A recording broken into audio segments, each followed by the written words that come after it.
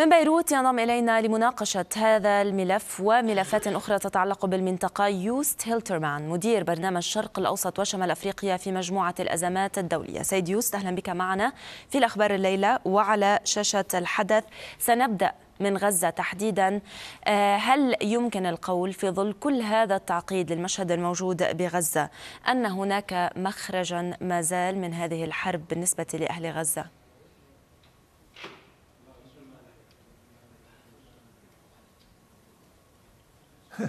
well, بداية شكرا لك على الاستضافة بوضوح. لابد من وجود نهاية للحرب في غزة فهي لا تحتمل فغزة كانت تحت وطئ هذه الحرب عشرات الآلاف قتلوا وجرحوا ومن الواضح أن هذا آه، وهناك من نزحوا وشردوا في كل جيب صغير من آه، هذا القطاع. هذا الأمر لابد أن ينتهي. وأملنا أن المفاوضات التي تجري حاليا تصل إلى وقف إطلاق النار. ونهاية سريعة. لست متشائما. إلا أننا بالفعل ما زلنا ننتظر. ولكن هل من آليات مقبولة سيد يوست للذهاب إلى حل لهذه الحرب؟ حل دائم وليس فقط لمجرد هدن أو محاولات لوقف إطلاق النار.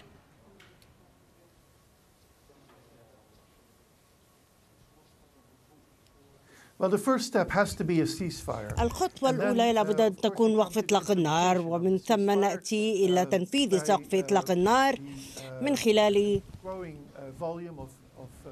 زيادة حجم المساعدات الإنسانية التي تدخل القطاع وتبادل الرهائن والأسرى من كلا الجانبين ومن ثم آه، مباحثات حول من سيحكم القطاع بعد هذا هذه الحرب. إلا أن الطريق الوحيد للمضي قدما هو الهدنة. ومن أجل تحقيق ذلك سواء. آه، آه، أعجبنا ذلك أم لم يعجبنا الولايات المتحدة هي أقوى. آه، that, uh, عنصر هنا وهي التي يجب أن تأتي لإسرائيل وتقول لها كفاكم قتالا ولا بد من إنهاء الحرب ما الذي يجعل آه، أي ضغط على إسرائيل يتأخر آه، سيد يوست الآن؟ هل هو غياب الإرادة السياسية لدى الولايات المتحدة آه، بشكل أساسي أو هو يعني هناك أسباب أخرى ما زالت غير واضحة أو غير معلنة إلى الآن؟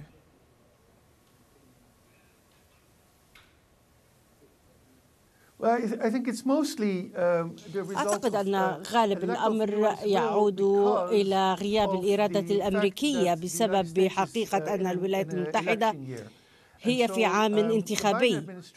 وإدارة بايدن لابد لها أن تقوم بحسابات سياسية صعبة لتعرف ماذا يجب أن تفعل لتفوز في نوفمبر.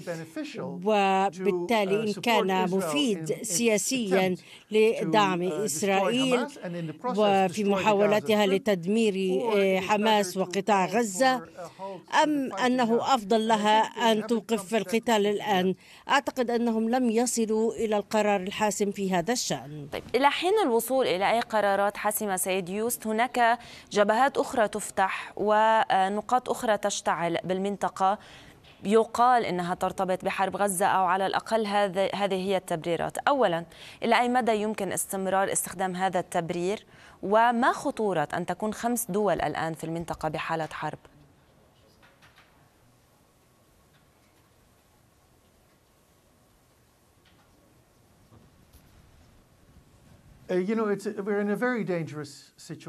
هذا الوضع خطير جدا ما من شك في ذلك وهو مرتبط مباشرة بالحرب في غزة. علينا أن أقول أن النوايا في اليمن ولبنان وسوريا والعراق كانت موجودة مسبقا قبل السابع من أكتوبر من العام الماضي وستتواصل بعد ذلك.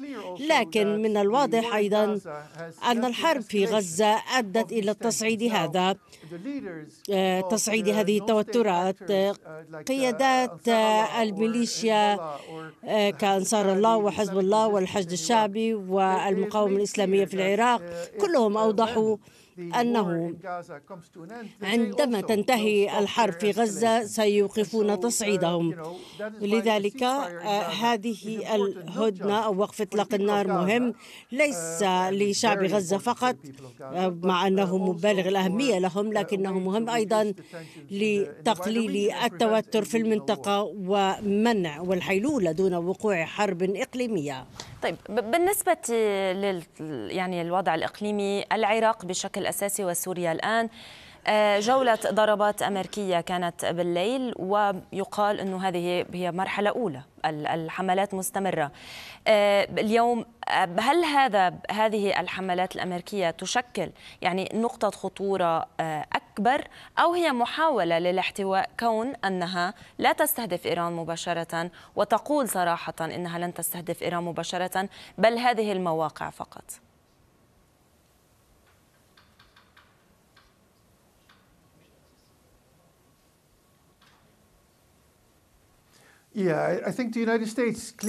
أعتقد أن الولايات المتحدة بشكل واضح لا تريد استهداف إيران في الوقت الراهن لأنها هذا سي... لأن هذا سيتسبب بحرب وهذا ما لا تريده الولايات المتحدة ولا إيران.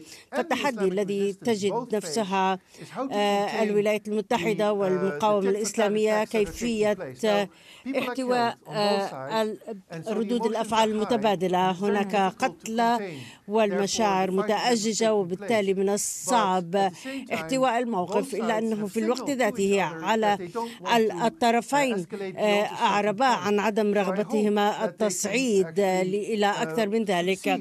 نأمل أن يتمكنا من النجاح في عدم تجاوز الخطوط الحمراء لكلا الطرفين. الولايات المتحدة ردت على قتل ثلاث من جنودها والمقاومة الإسلامية قالت أنها سترد على الضربات الأمريكية خلال الساعات القادمة والوضع الآن هل سيبقى محدود؟ وإن لم يتمكنوا هذا سيأخذنا إلى وضع مختلف. وربما نحتاج لأن نكون قلقين من مواجهات أكبر بينهما. طيب من ناحية إيران تحديدا سيد يوست يعني لماذا أصبحت إيران بهذه القوة في المنطقة مع هكذا أذرع عسكرية اليوم قادرة على يعني زعزعة استقرار كثير من الدول؟ هل يعني الخطأ يأتي من المجتمع الدولي والولايات المتحدة بشكل أساسي الذين تفاوضوا مع إيران فقط على البرنامج النووي وغضوا النظر عن الأذرع العسكرية؟ أو أنه الموضوع يعني يتعلق بشأن آخر يمكن غير معلن إلى الآن؟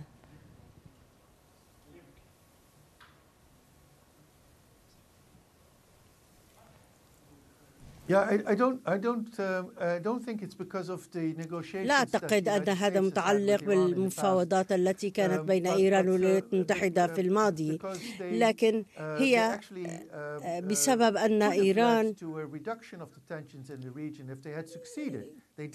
ربما كان لو نجحت المفاوضات لكانت أدت إلى تقليل خفض التوتر.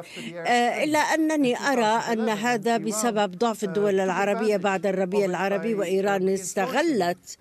ذلك بتعزيز وجود الميليشيا والجماعات المسلحة الموجودة في هذه الدول. وهذا جعلها قوية مقارنة بالدول التي هي فيها. السؤال هو كيف يمكن مواجهة القوة الإيرانية في المنطقة هي بإعادة بناء القوة العربية. وأعني قوة الشرعية شرعية الحكومات العربية في سوريا في العراق في اليمن وليبيا. هذا هو التحدي الأساسي فإيران بالتالي لا يمكنها استغلال ذلك الضعف. وهذا لماذا لم يحدث إلى الآن؟ سيد يوست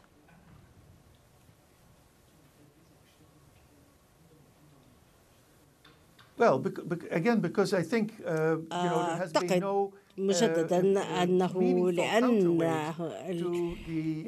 لاننا نفتقر لوجود ثقل يوازي الثقل الإيراني في المنطقة.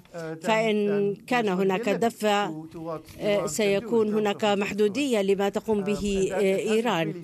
لكنها لم تجد قوة تواجهها وإن نظرنا إلى الوضع الراهن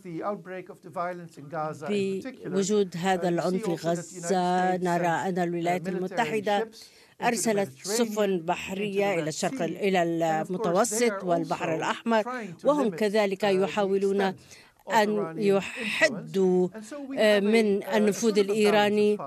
وذلك أيضا من أجل توازن القوى. والمحافظة على توازن القوى هذا يجعل الطرفين قد يقعا في أخطاء. وفي قبل أسبوع المقاومة الإسلامية قتلت ثلاث جنود أمريكيين نعم. في شمال شرق سوريا ولا أعتقد أن المقاومة قصدت قتل الجنود الأمريكان. كان خطأ لكنه حدث لأن الأمريكان وقعوا بأخطاء.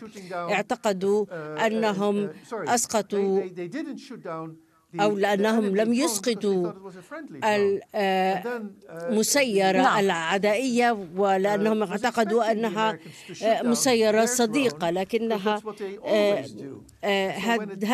هذا الأمر هو الخطأ من طرف وبالتالي الأمريكان شعروا أنه خطأهم وبالتالي كان عليهم الرد على هذه الهجمات من أجل استعادة ذلك التوازن في القوى. نعم. وبالتالي الآن المقاومة الإسلامية تريد أن تستعيد توازن القوى هذه لعبة خطيرة. كل طرف يحاول أن يرسل رسائل للطرف الآخر بأنهم يريدون الرد لكنهم لا يريدون تجاوز خطوط حمراء ويريدون أن يبقوا ضمن حدود القوى المتوازنة الآن. وهذا هو سبب التوتر. شكرا لضيفنا من بيروت يوست هيلترمان مدير برنامج الشرق الأوسط وشمال أفريقيا في مجموعة الأزمات الدولية.